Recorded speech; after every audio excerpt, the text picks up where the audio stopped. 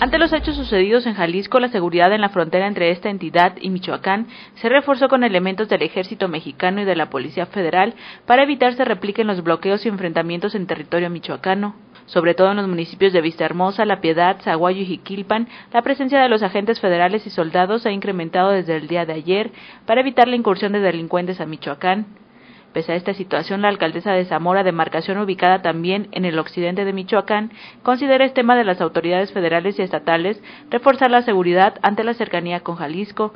Se preocupa más por la delincuencia común. Creo que las acciones de seguridad pública son acciones que se tienen que, que, que actuar, que se tienen que llevar a cabo desde el ámbito federal, desde el ámbito estatal y nosotros en el ámbito municipal dedicarnos a lo que nos tenemos que dedicar, a la prevención del delito. Aún con el incremento de vigilancia en esta región, en Zamora se registró una balacera entre soldados del 17 Batallón de Infantería y presuntos criminales. Los uniformados acudieron a verificar la denuncia por la presencia de hombres armados cuando fueron recibidos a balazos.